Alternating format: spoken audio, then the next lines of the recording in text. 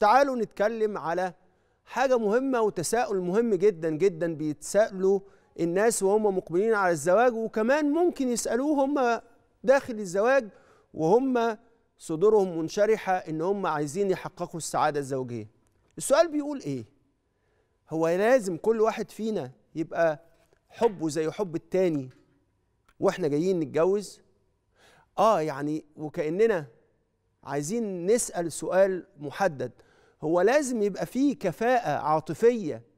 زي ما فيه كفاءة مادية وكفاءة اجتماعية يعني لازم إحنا الاتنين نكون مشاعرنا زي بعض. ويبقى في مثل مشهور بيتدخل في وسط الكلام ده.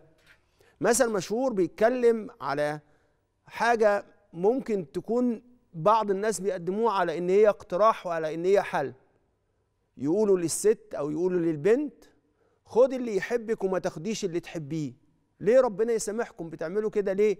فالرجالة أول ما تسمع الكلام ده تقول هو ليه؟ طب وده ما ينطبقش علينا إحنا كمان ليه؟ طب ما أنا آخد اللي تحبني وما آخدش اللي أنا بحبها. ليه يعني ما يحصلش ده؟ هو المثل ده جاي عشان يعمل إيه؟ المثل ده أو أو القول ده أنا مش قادر أقول إن هو حكمة لأن هو في الحقيقة مش بالضرورة يكون حكمة.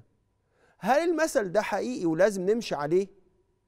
وإحنا بنختار شريك الحياة في الحقيقة المسألة زي بصمة الإيد.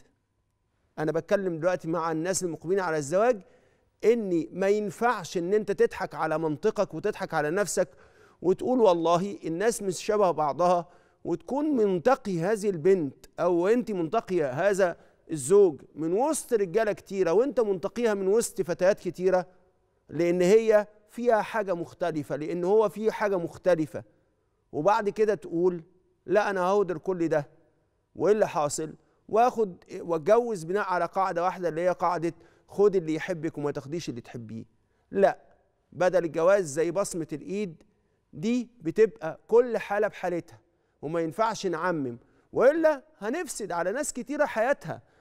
في ناس كتيرة اتجوزت فاتجوزوا اللي بيحبوهم. فإيه اللي حاصل؟ أنا أنا غلطت في الاختيار ولا إيه؟ أصلا ما اخترتش اللي بيحبني. واخترت اللي أنا بحبه. فمثلا ليه الناس بتقول أنا هتجوز بقلبي مش بعقلي؟ بيقولوا إحنا لازم نفهم الناس بتقول كده ليه؟ بتقول كده لأن هي عندها معنى مفتقد أو أمنية عايزة تحققها. فالبنات بيكونوا عاوزين يحبوا ويتحبوا ويكون ده ليه معنى. ليه معنى؟ إيه هو المعنى ده؟ يعني عايزة حد يحن عليا وحد يبقى شبهها ومش عايزة وعاوزة كمان واحد عنده كاريزما. ففي الحقيقة هي عاوزة إما جمال بمقاييسها هي أو شخص يملى عينيها وده شيء مهم على فكرة في الجواز.